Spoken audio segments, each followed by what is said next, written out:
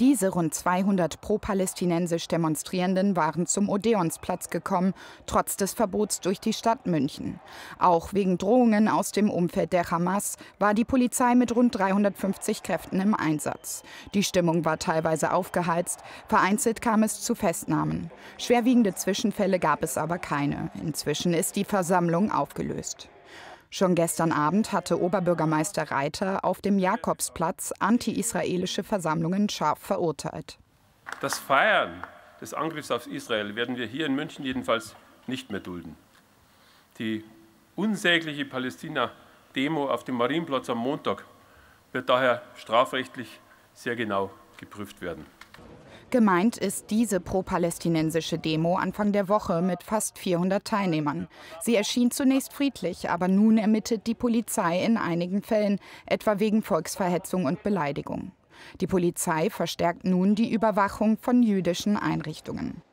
Das Jüdische Museum in München hat aus Sicherheitsbedenken seine morgige Teilnahme an der langen Nacht der Museen abgesagt.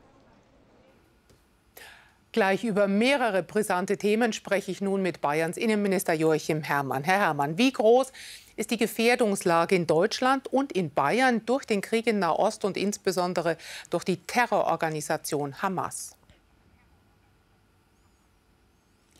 Wir haben im Moment keine konkreten Hinweise auf irgendwelche geplanten Anschläge, aber man muss angesichts dessen, was es an langjährigen Erfahrungen international mit solchen Organisationen gibt, natürlich immer damit rechnen, kann es jedenfalls nicht ausschließen und deshalb sind die Sicherheitsbehörden nicht nur bei uns in Bayern, sondern in ganz Deutschland natürlich auch in besonderer Aufmerksamkeit und Sensibilität für die Risiken solcher Anschläge. Und ich nehme an, auch in besonderer Sensibilität ist die Polizei gerade im Hinblick auf verschärfte Bedrohungslagen, die sich doch für jüdische Mitbürger hierzulande immer mehr abzeichnen. Bund und Länder, die Sicherheitsbehörden, die Polizei haben sich schon seit letzten Sonntag intensiv abgestimmt. Äh, wir haben auch in Bayern entsprechend die Präsenz bei jüdischen, bei israelischen Einrichtungen verstärkt, äh, fahren verstärkt Streife, haben Standposten verstärkt etc.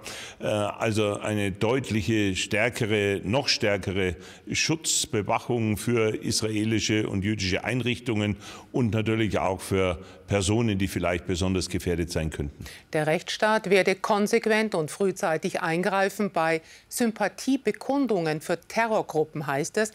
Kann man Kundgebungen, die dafür eine Bühne geben, grundsätzlich verbieten? Versammlungen, die äh, voraussichtlich Straftaten beinhalten, können verboten werden. Äh, das gilt zum Beispiel, weil das strafbar ist, wenn die israelische Flagge verbrannt werden soll.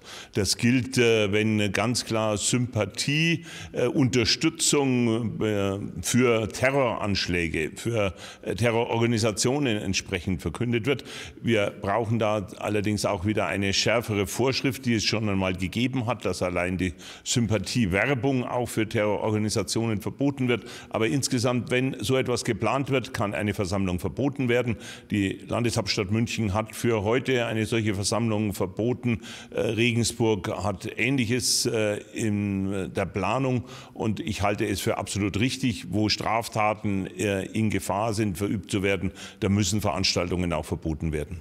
Reichen insgesamt die Einsatzkräfte für die neue Gefährdungslage aus, trotz der insgesamt ja hohen Arbeitsbelastung der Polizei? Wir haben eine starke Arbeitsbelastung für die Polizei überall in Deutschland, auch bei uns in Bayern. Aber man muss in solchen Situationen natürlich immer Prioritäten setzen. Und angesichts äh, dieses schrecklichen Krieges, äh, des Angriffs der Hamas auf Israel, hat dieses Thema natürlich jetzt auch eine besondere Priorität für unsere Sicherheitskräfte. Herr Herrmann, ich danke Ihnen für den Moment. Wir sprechen uns gleich noch zu einem weiteren Thema.